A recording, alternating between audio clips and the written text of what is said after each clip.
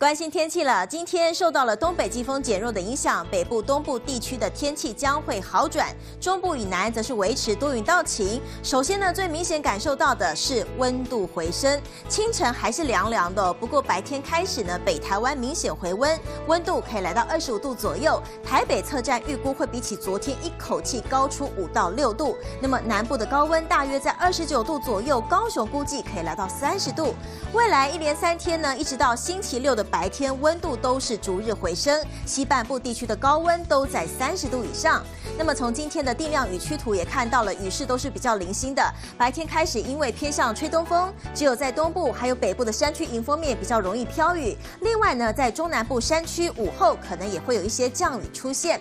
然而，随着东北季风持续的减弱啊，从目前开始一直到周六入夜之前，都是温暖少雨这样的天气形态。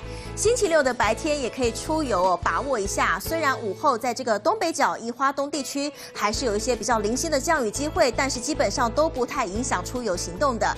那么中南部的平地还是维持多云到晴，山区午后降雨会明显的减少。那么下一波天气的变化预计发生在星期六的晚上开始了，再度有封面过境。加上东北季风增强，北部、东部降温转雨，那么北部地区不排除有局部雷雨。那么虽然雨势不大，但是可能会影响到出游，因此哦提醒北台湾周休假期温度也是会悬崖式的下跌。从星期六白天的高温还有三十度，到了星期天呢，一口气低温就只剩下二十度，这个之间温差达到十度之大，起伏非常的大。而且呢，这波影响会持续到下周一，所以在劳动节连。假期间出游都要特别留意了。不过这波变化也只影响到北台湾、中南部都还是维持多云到晴，只有午后山区有雨。要缓解水情，估计还是要等到五月中的梅雨季节了。小丁，你要提醒大家，未来几天白天温度都明显的回升，日夜温差扩大，早出晚归多加留意了。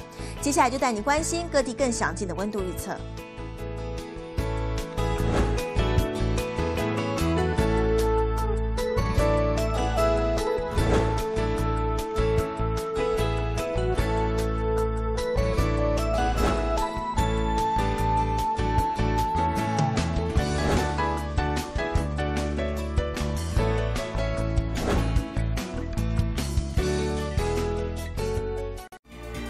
我是刘佳，我喜欢与您分享地球大小事、最新时事、国际脉动、财经动态，还有气象资讯，最接地气的新闻台，让你重要消息不漏接，聊天的话题也不脱钩。